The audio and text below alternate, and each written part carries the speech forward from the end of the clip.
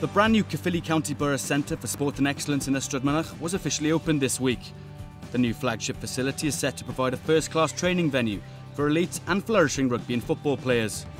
They will also be able to develop their strength and skills using a commanding conditioning suite and the two international standard 3G pitches. The Welsh Rugby Union is, is so proud and honoured to be part of this extraordinary scheme. And, and also for the WRU to be part of it literally from, from day one. Many years ago we had our first meeting with Caerphilly Borough Council. But it's Caerphilly, I, I paid tribute to the Welsh Rugby Union place tribute to for the vision of creating this facility here because it's a facility for, for all of the game uh, across the valleys here for, from, uh, from the community game, from the local clubs so we, we talked to at length for the schools, for the college that's behind me but also for the elite end of the sport as well for our academy uh, for the Gwent Dragons who will be based here uh, also uh, for our age grade rugby, that this is a fantastic facility and all tribute to Caerphilly for the vision for creating this.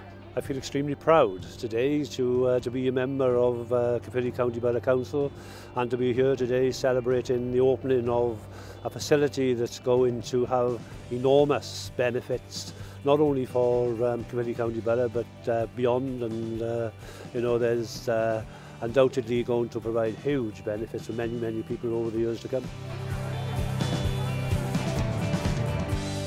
The Welsh Rugby have worked in partnership. The lead partner, of course, has been Caerphilly Borough Council, but we also work with the FAW, and we're working with the FAW to create pitches, uh, all-weather pitches, uh, across Wales, working with, with Sport Wales, supported by the Welsh Government. So it really is joined up thinking Wales uh, at its best. happened is fantastic. You know, it's everything the Dragons have, uh, have needed for so long now. And not, not just for the Dragons, but uh, the community in general. You know, it's something we haven't had in this area for, for well, forever. And, um, you know, I think it'll be well used and uh, well looked after here. Personally for the Dragons, it's massive. You know, we, we've not had the facilities to compete with the other regions or anybody else in the league. Um, and now coming here, you can see around here the facilities in the background is, uh, is second to none. And, um, you know, normally you dread to come into pre-season training. It's, it's a tough old slog, but uh, I think the boys are really looking forward to coming back into work and uh, you know excited to get into this gym and start using it and start getting the, the um, gains from it.